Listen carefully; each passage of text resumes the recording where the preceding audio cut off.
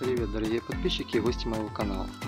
Сегодня сделаю небольшой видеообзор теплицы и покажу самый ранний сорт, который у меня созревает пока что в горшке в парнике. Но поверьте мне, вот есть и другие сорта в парнике, им еще до зрелости очень-очень долго. А вот этот сорт, так называемый магараджский, который я уже показывал. Про него я снимал отдельное видео, вы можете посмотреть его у меня на канале. Сегодня я вам просто хочу показать его. Вот плоды.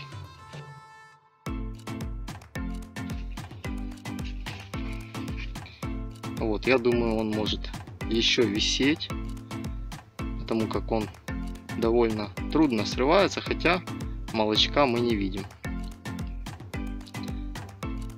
Вот такой плод. Немножко чувствуется опушение. Очень красивый окрас. Конечно, глазок крупный. Это минус, но вот подкупает то, что он очень обильно плодоносит. Посмотрите, очень обильно закладывает по две фиги из одного узла. Обильное плодоношение у него. И отличные плоды по вкусу мне очень понравились. Сорт, как по мне, для Киевской области достойнейший. Очень ранний. И неплохой по вкусу. Ну а пока я вот отложил плоды и перешел в другой конец парника, хочу вам показать тоже один сорт. Вот с таким интересным листом, который мне напоминает далматский, но плоды совершенно другие. Этот сорт был получен от одногруппника Виталия Мирошника. Вот можете у него заказывать его смело. Очень плодоносный. Несколько плодов я уже снял с него. Ну вот остался один, я вам его покажу. По идее он тоже может вялиться. Такие вот желто-зеленые плоды.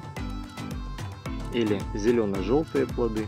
Как вам нравится больше глазок маленький, это значит туда не, не будет попадать влага и они не будут закисать. Вот он уже мягкий. Это бреба. Ну тоже вот он может висеть, он так вот сморщивается. Шкурка плотная.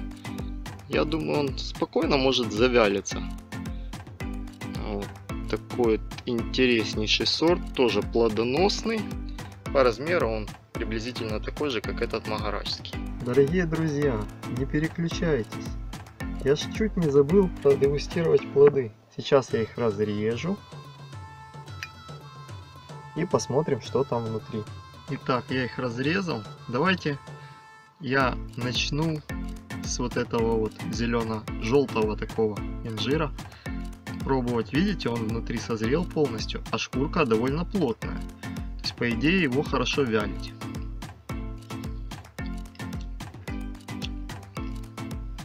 Ну что, сладенький инжирчик. Вкус на троечку. Присутствует немножко кислоты, немножко сладости. Такой десертный.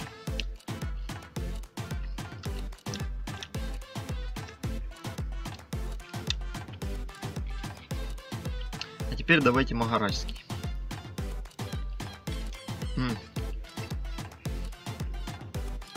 А этот на твердую четверку. Тоже присутствует и сладость, и кислинка. Такая вот классная у него мякоть. Я обалдею. Конечно, есть полость.